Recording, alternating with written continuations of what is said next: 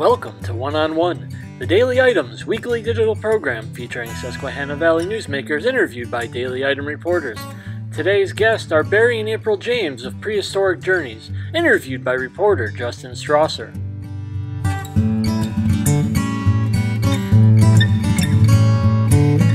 SMC is where you want to be because they have the largest selection of new Ford trucks in all of central Pennsylvania. And that means the biggest savings. Take up to $13,500 off on new F 150s. And SMC has them starting as low as $26,669. Welcome to One on One. I'm Justin Strasser.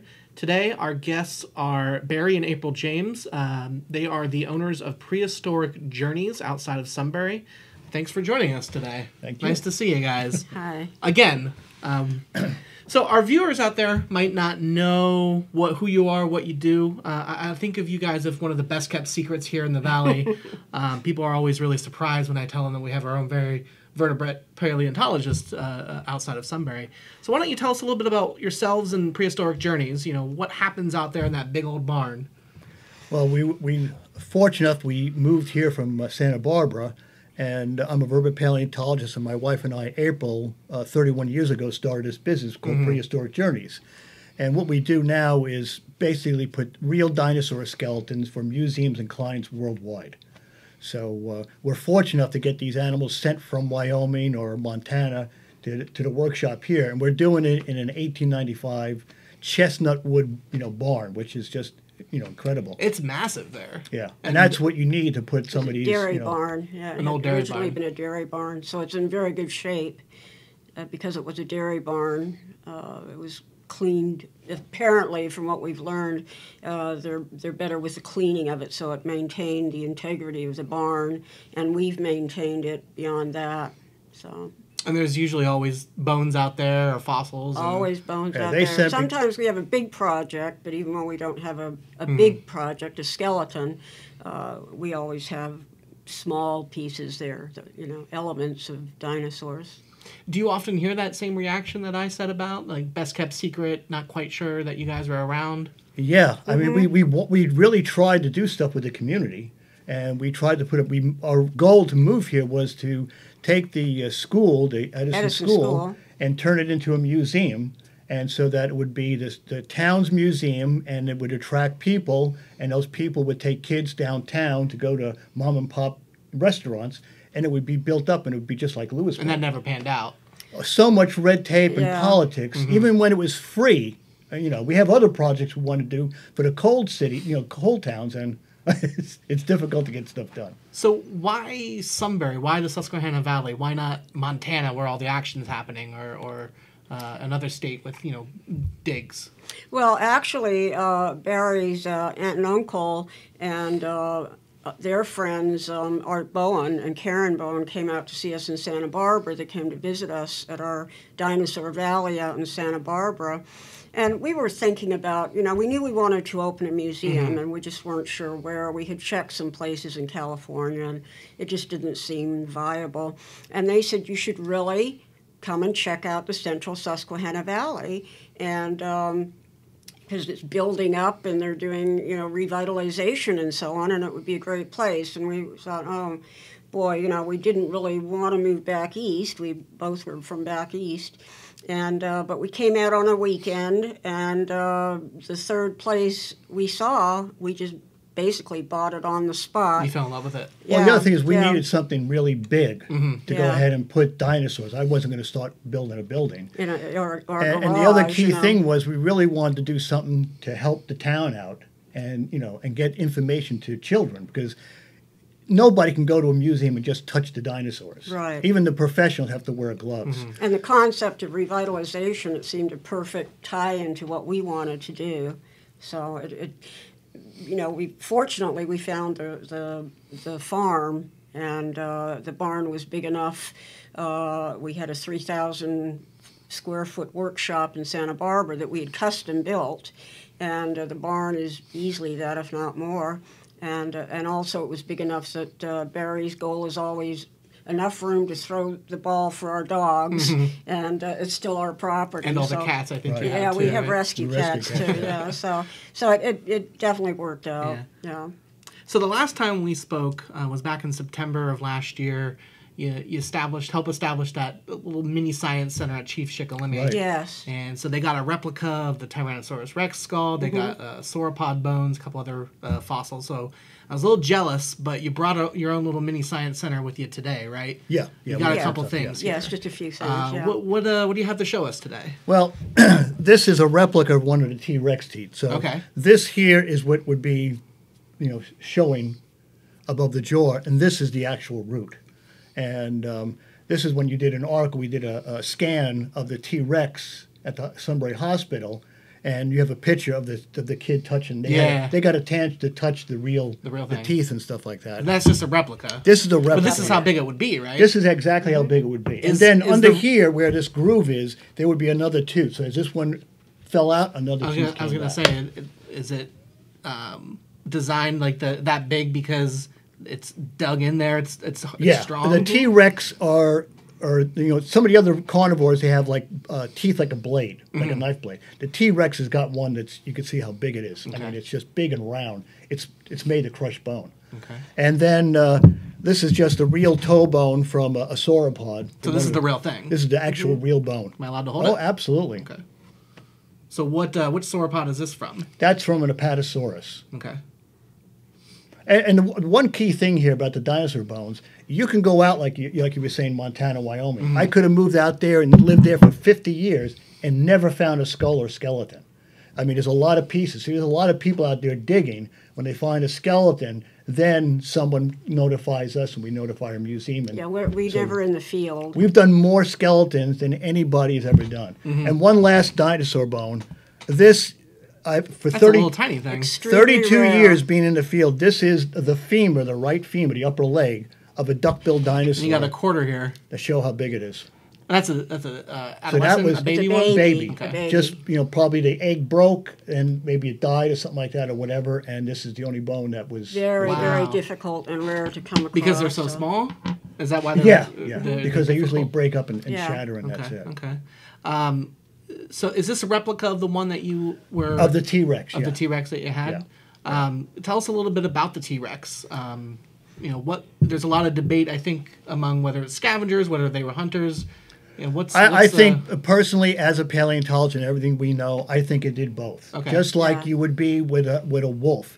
If there's a dead deer, then they're going to scavenge it. Okay. Otherwise, they're going to hunt. I mean, the, the other thing is the T Rex had powerful legs. It could run at a good speed. Mm-hmm. If it was just a scavenger, you wouldn't need that. Yeah, they were very successful, so they had to be adaptable to the environment, and, and so obviously it seems to us that they would encompass both areas. And that big skull is made to you're running after an animal, you make one bite, and that's it. Some Mm-hmm. serious damage. If it was a scavenger, you wouldn't need all that powerful, you know, skull. Right, right. And uh, the Apatosaurus here, the bone you brought, how big did these guys get? This one is is the same size we we uh, set up in Abu Dhabi airport and stuff like that. So this is about uh, 80 feet long. 80 feet. That's that's massive. Yeah. and the one we put down uh, in, in the Capitol, Capital. And at was, the a, Ar- National Armory was here. an, uh, a, um, a, plat, a um, Diplodocus, and that was uh, 84 feet long. Okay. Okay. Now, have you? Uh, we had Jurassic Park or Jurassic World: Fallen Kingdom come out recently. Have you Right. gotten a chance to, to see I haven't that? gotten to see it yet. Not no. yet, no. You, you saw the first uh, Jurassic. World I saw then? all the other ones. yeah, Okay. absolutely. yeah. Um, would what do they do well in those movies, and what do they not do so well? What's what's not so accurate? I think the stuff they do well is the dinosaurs and the movement of the dinosaurs. I think that's the most key thing. I Okay. mean, they're making them, bringing them really back to life the way they are. Because they do talk to technical people. They're not just cartoons. Mm-hmm. So they are, and this latest one apparently is supposed to be even more advanced. So you really get, everyone gets a chance to see what they really were like. and what do they not do so good? What what are some of the inaccuracies that you shake Uh, your head at as well, a, it as a would be the, the title and the T Rex um, is not Jurassic. So right, right. Yeah, yeah. That would be the main thing. But, you know, I don't think Cretaceous world would have had the same impact as uh, Jurassic World. I think the biggest thing is that if you really did put all that money into a park, you wouldn't have it that the dinosaurs would escape. But you need them to escape if you're making a movie. Right, right. And uh, I think the, the the big thing is like the raptors are supposed to be more bird-like. They don't look like reptiles. Is that Yeah, they're more sort of what- bird-like. Yeah. Yeah. And that uh, the movies don't portray that as well as as uh, as what the science is today, right? Right. Or they get the size a little bit bigger than what they would be normally, something like that. Like the raptors. Yeah. The raptors are yeah. okay. Okay. Well, we're gonna take a break and we'll be back with Barry and April James. Four city blocks of new Ford trucks. Over 40,000 trucks sold. SMC is where you want to be. Sunbury Motors Ford has over 110 new Ford trucks. And during July, they'll include a complimentary accessory package. With the purchase of any new F-150 through July 31st, receive a tonneau cover, molded splash guards, and window deflectors at no additional charge. We're back with one on one. We're here with Barry and April James, the owners of Prehistoric Journeys, right outside of Sunbury. Um, we touched on a little bit on the first half of the of the program here about some of the uh, unique fossils that you've worked with. Um, one of them I'm thinking of was Apollo, and that was a Brontodiplodocus, right? Yes. and that um, you got were able to have that displayed at the state Pennsylvania State Capitol. Right. You had it here at the Sunbury Armory. What was it like working with such a massive uh, fossil? that was really impressive because um, it was supposed to go uh, overseas to uh, I think uh, Taiwan or something museum, and we were able to talk to the people. And if it wasn't for Representative Merle Phillips and Lynda Culver and stuff like that and their staff, uh, we wouldn't have been able to show it down at the Capitol. You know. And then uh, we had talked to Merle about putting it in the armory so that people here could get to see it. And for five days in the armory, over five thousand, over twenty-five thousand people got to see it. But the unique thing was they were able to get up close. We had a vertebrae that the kids could touch and stuff like that. And everybody got together, whether it was the military people, got the jeeps and dressed in uniform. Uh, some people brought elderly and uh, handicapped children there to see it. You know, so where children don't get a chance to go down to Harrisburg or down to Philadelphia or Pittsburgh to see something, it was right here for them to get up close and see something. And that's what makes it. And they remember it. They still, Yeah. uh, in fact, uh, two days ago I was uh, at a store and somebody came out and mentioned how much that meant to their children. Uh, they had taken their children to the armory. That's a few years ago, and you know they still remember it. So it definitely has an impact, and that's an important aspect for us is to to to work with the community and to share with the community. Um, obviously, we're limited as to what we can do at our uh, you know, at our workshop, but we always try to do outreach, as you well know. So, And and it was really neat because I got to go down there and then cover it uh, down at the state Yes. capitol, and it was really cool to see like the massive dome of the capitol with this Yeah, giant Oh. skeleton wrapped around it. It and I, if I remember correctly, it was um, you could walk underneath the tail Yes, towards one of the wings. Yeah. So I think that was kind of neat. yeah. Um, did you get a lot of good reaction from the state employees down there? Absolutely, Oh, absolutely, yeah, And I'll tell you, if it wasn't that Merle had the connections and would do something like that, there's never been a dinosaur in any federal building in the United States. Yeah. No. And here it was this, and it with the way we mounted it, it fit perfect. So when Yeah. you walked in, the head was 17 feet up in the air. You know. Yeah. And you worked really close with Merle uh, before Yeah. he passed. Yes, we did. Um, Yeah. I think he, he had a proclamation for you guys. He, he worked really close with you, with you guys. Mm-hmm. We were uh, very good friends. yeah. And we're still friends. Uh, when we did the uh, uh, grand opening for the uh, mini science center at Chief Shikellamy, Yeah. we, we had Helen there, which was fantastic, and, and his son. And, Helen's his wife. Yeah. Yeah, Okay. yeah, his yeah, and uh, so you know we're very close to the family. We love them all. They're very special people. And I'll tell you, it was it was Representative Lynda Culver to go ahead and push that because we said we had a replica skull and we were able to do something. And it's the same thing. A lot of schools weren't interested, Even though When- it was free, we weren't charging them and for then anything. The principal there, uh, he raised his hand right away and wants that wanted that skull. And I said, look, I can put a real bone here, and you had these other cases. We'll fill the stuff up, and won't cost. And now they, the kids can go in and touch a real bone. They Yeah, see the a skull, Chief Shikellamy, and yeah. it made Yeah. a big difference. And that's what we try to do. Yeah. I mean, just you know, pass on it. We're lucky enough to be and fortunate enough to work on these animals. We don't want to just ship them off and that's it. Right. So we pay whatever it costs to move it around, and we got to get permission from the client. But um, it works. And now, three years ago, you had Tristan the tri- Tyrannosaurus Yeah. Rex, which is the third most complete T Rex Yes. skeleton that ever was. Yeah. Um, the last I heard, it was on a three-year display in Germany. Right. And I think that three years is almost up. It's staying there. it's staying, staying, there permanently yeah. or indefinitely. Yeah, It's been very, very successful for the uh, Naturkunde Museum That's in cool. Berlin. Yeah. And I wasn't uh, even going to try to pronounce it. I have it written down here. but- Oh, yeah, it's, it's it's a fantastic display and uh, exhibit, and they get you know we, we still talk to the director, and he tells us they have uh, lines around the corner uh, still to see Tristan. well, the Tristan unique thing with Tristan was not only was it the third, you know, uh, greatest uh, number of bones, but it had three different bone diseases. Mm-hmm. yeah, and right. Berlin has millions of dollars now in funding for research to do that. That's cool. You know, yeah. and the coolest thing was that uh, Lynda helped us go ahead and get.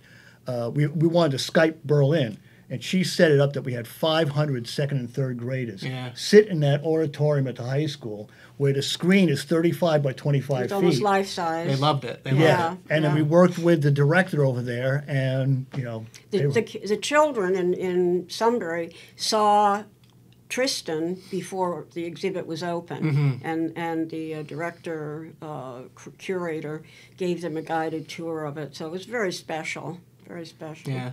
But one of the cool things is when you did the report, you wrote down on the title, "The Shikellamy students are the first pupils to ever touch the real T-Rex," Yes. and that's that's what the whole goal Yeah. is. You know? yeah. Yeah, and that meant a lot to With all the kids. stuff that's going on, with all the research, those second and third graders were the first ones to touch that skull before it, it was CAT scan at the hospital. So w- would you say that that's kind of w- would that the the, the, the Tyrannosaurus would that be the, kind of a highlight of your career or, or is there something else? There's a lot of different. When we went to Arabia and this and that, we went to different places, Mexico, you know. A T-Rex is, but a is T-Rex is pretty the ultimate, special. yeah. There aren't many of them to Right. begin Right. with, and to have the opportunity to to do this, and and Barry designed a uh, an, a, a skull. Um, uh, an articulation of a skull so that every one of the 55 bones of the skull could be taken off and researched independently without affecting the integrity of the skull. So that was also very special. Um, now you've both been very passionate lately about unity, and and uh, you and your crew members recently made a YouTube video uh, calling for some unity. Uh, can you kind of go over briefly about you know what that message is and, and why it's important to you? Well, the thing, the way the country is right now, uh, whatever your belief is and whoever you back, the bottom line is we are all connected and all care about our children and grandchildren and the veterans of this of this country. I mean, it's family, and I think we forget with all the stuff going on where there's trying you're trying to people are trying to divide the people, and the people have to remember we are one. It doesn't matter who the leaders are. Mm-hmm. The country is made up of small towns across the United States, and it's all the families that matter. And we should be caring about our children and grandchildren and you know making our country better. When we, when there's a, a perfect example is when there's a sports happening, there's thousands of people in that in that arena that are cheering for the U.S. team. They don't look and say, "Well, I think he voted for this person," or "I don't think he likes children." No, we're all one. All together. We are one as one unity, and that's what the whole. Actually, it all came about because with the new Jurassic movie, there's this Pachycephalosaur dinosaur with a dome on its head. Oh yeah, okay. And I have have done the real one, which is uh, it has spikes, which is The first ever. yeah. first ever. It's called a Stygimoloch. So my friend called me and said, you know, why don't you film that? Because now with Jurassic uh, World, you know, you may want to sell that and we can do something. And I said, well, maybe I'll do that. And then I realized if I do that and put it on It's a YouTube platform. as a platform, I can say now that I have everyone's attention with the dinosaur, Mm-hmm. here's what we got to be looking at. Because it's one thing to be a politician and have all this money. It's another to be a down to earth person. So it's um, And, and I think the key is simplicity. You don't have to be an activist, you don't have to be out marching, you don't have to do anything spectacular to make a difference and to have unity. I think if everybody just smiles at someone in the market, I, I make a Yeah. point of doing that. I'll smile at someone who maybe looks like or I'll say hello or or do something to interact mm-hmm. and it's amazing every single time they're very happy about it and they want to share. So But one quick last thing: if people want to see something on YouTube, all they have to do is look up dinosaurs for American families, and they'll see the message. And that, that's sort of been a message that you've had for quite a while. Oh yeah, always. Uh, Always. whenever I talk to you Always, at, at different events and different organi- different organ- uh, organized events, um, you know, for the kids, for the for the community, that's always been kind of your mantra. right, right. It's always been um, yeah. that way for us. That's good to hear. Um, so one last question before we go: favorite dinosaur and why? We'll start with you, April. Why? What? I'm sorry. Favorite, Favorite dinosaur, dinosaur. and Oh, why? well, I'll tell you, there are many I love. Um, I love the Eriops. It's an unusual sort of reptilian. Okay. Uh, uh, it's a dinosaur, but a reptilian dinosaur. I, of course, I adore uh, the the T Rex. He wouldn't. And uh, I've always been enamored of the duckbills we've done. We, and and then the other thing, uh, Triceratops. We've done a number of Triceratops skulls, and, and they're just so magnificent. And um, so. Uh, they're all my favorite. You can't help but love them. They all have a story, Yeah. and as we work on them, we see their story We come bring them to back life. to life, basically. And uh, cool. yeah, so so every one is special to Mm-hmm. us, and um, and we sort of develop the story as we're going through because the bones give us the information. Barry. It would be a Dimetrodon. Okay. That's before dinosaurs. It's got the big sail back. Oh, yeah, those are those were the biggest dinosaur, biggest animals back 285 million years ago. And we were fortunate. If some of these things have been sitting around for 50, 100 years, Mm-hmm. and we're lucky enough to get those, and we, you know, we're able to put them together. And hopefully, we can always show them to the rest of the community. Which We've done cool. 158 skeletons. more than anybody and else. more than anyone else, and there aren't that many people who do what we do, and that's not counting individual elements Mm-hmm. like a, a skull or a leg bone or a tail section. So 158 complete skeletons we've done in our career uh, since we started the business. And all the major museums and all the major vertebrate paleontologists from around the world come here to Sunbury to our shop. Mm-hmm. You know, so we always wanted to try to share all that with everybody around here. So that's All what we try to do, and you make it happen. You do. Oh, well, thanks. and we appreciate everything you've it's always done. fun working with you. Thank it's something you. different. and It's interesting. All right, well, that's all the time we have for today. Uh, Barry, April, thank you for joining us Thank you. uh, for, days, for today's edition of 101. Thank you for watching One on One. We hope you will join us this coming Thursday at noon for a new installment.